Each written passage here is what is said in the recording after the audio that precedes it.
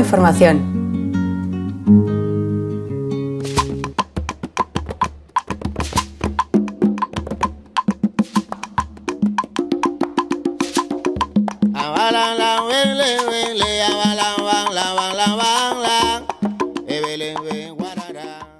Estamos en el 13 Encuentro Estatal de Solidaridad con Cuba, que se celebra en la ciudad de Zaragoza y vamos a conversar con un miembro, un representante de, unos de uno de los colectivos eh, organizadores, el Comité de Solidaridad Internacionalista de Aragón. Vamos a conversar con Juan Carlos eh, Burillo y bueno, pues eh, darte la bienvenida y, agradecerte, agradecerte que estés con nosotros.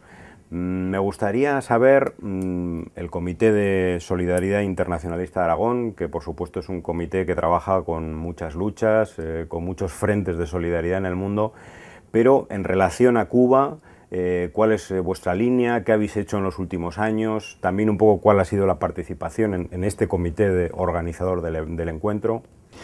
Bueno, nuestro trabajo, o sea, como, como, asociación venimos trabajando desde, desde final de los 70, principios de los 80, eh, sobre todo con Centroamérica, Cuba se ha ido ampliando luego a, Venezuela, Colombia. Eh, entonces Cuba ha estado siempre en primera línea de nuestro trabajo desde, desde siempre, ¿no? No es, no es una novedad. ¿no?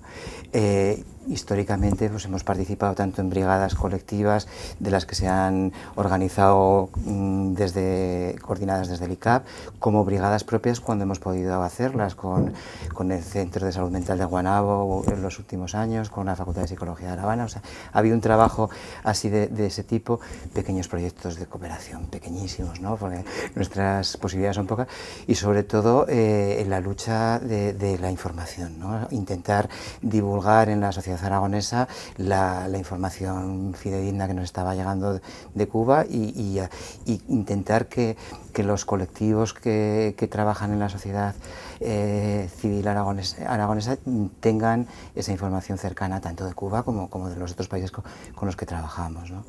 Eh, siempre ha sido nuestra, nuestra El comité surgió ya desde el principio como, un, órgano unitario, o sea, se, fundó con representación de todos los partidos eh, que en aquellos años eran muchos eh, que, formaban la izquierda de la ciudad y hemos intentado mantenernos en ese pluralismo y en esa actividad de, estar un poco como, los que miran hacia afuera y, traen esa información hacia afuera de todo lo que se mueve en la izquierda aragonesa.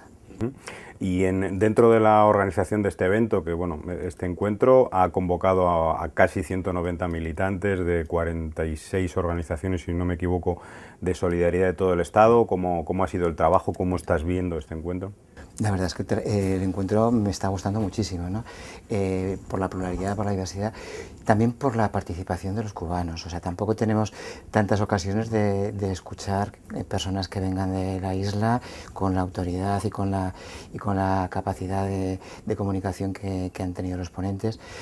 La organización ha sido complicada, ha sido tres largos años. Nosotros hemos destinado una persona a tiempo completo a, a, la preparación del encuentro y a dar el soporte y luego hemos apoyado a los demás cuando, cuando ha sido preciso, se apoya también económicamente y en estos días pues hemos estado ocho eh, personas del comité eh, participando en, en, el día, en, el día a día en todo el momento del encuentro. ¿no? Entonces para nosotros ha sido una actividad muy importante dentro de, de, este año y creemos que es fructífera. Yo creo que, que es positivo vernos, ponernos caras, eh, establecer vínculos e intentar crecer hacia el futuro. El momento requiere de, de un esfuerzo muy importante de, coordinación, de, dar toda, toda, sacar toda, toda la capacidad de las fuerzas que tenemos e, intentar de, que esto mm, tenga la mayor efectividad posible.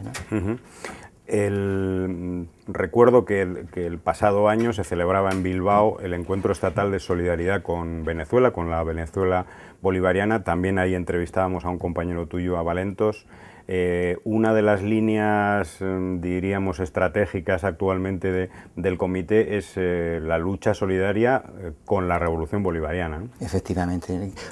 si, yo creo que, en este momento es el país que más está siendo agredido por el imperio y por todos estos medios infames que, tenemos en, el Estado. Entonces, sí que ese, poco que podemos hacer nosotros de contrarrestar esa información, de, intentar enviar personas que conozcan de primera mano la realidad, que luego lo intenten contar aquí, está focalizado sobre Venezuela. ¿no? Estos últimos años ha sido una de, nuestras actividades principales y, y allí eh, todo lo mismo, todo lo que podemos hacer, o sea, de proyecciones, eh, charlas, sacar noticias, mantener la coordinación, entonces ahí, ahí estamos. Uh -huh. hay, otros, hay otras luchas que apoyáis, con las que tenéis un trabajo in, intenso, ahí podemos mencionar Colombia, Palestina, bueno, otros, otros pueblos, ¿no? Sí, ahí Nicaragua es, nos vio nacer, o sea, como, como Comité de Solidaridad surgimos en torno a la Revolución Nicaragüense y sigue siendo uno de, de los ejes principales de, nuestra, de nuestro trabajo. Est, eh, estamos llevando bastante peso en la coordinación estatal y en la europea, organizando y participando en los encuentros que acaba de, de tener ahora en Roma, eh, los que se han hecho en Barcelona, o sea, ahí estamos eh, teniendo bastante papel en, con el tema de economía lo mismo, eh, participamos en, en, la coordinadora estatal, en la red europea, o sea, también se está, se está teniendo, destinando toda la gente que podemos a ese, a ese tema. Con el tema de, de, Brasil tenemos un trabajo con, con, el MST, como amigos del MST, y también hay, pues estamos en el equipo de comunicación, estamos en, coordinando lo que se puede, entonces son tema de, de, de Guatemala, es, es también otro país con el que hay, queda poco trabajo en el Estado, pero también estamos. ¿no? Y Palestina siempre, el Sáhara siempre, uh, y puntualmente las otras luchas que, que surgen y que, y que, hay que apoyar. ¿no? Bueno, Juan Carlos Gurillo, eh, miembro del Comité de Solidaridad Internacionalista de, de Zaragoza, de Aragón, eh, con el que hemos conversado sobre las actividades en diferentes frentes de lucha de este, de este colectivo. Muchas gracias. Muchas gracias a vosotros.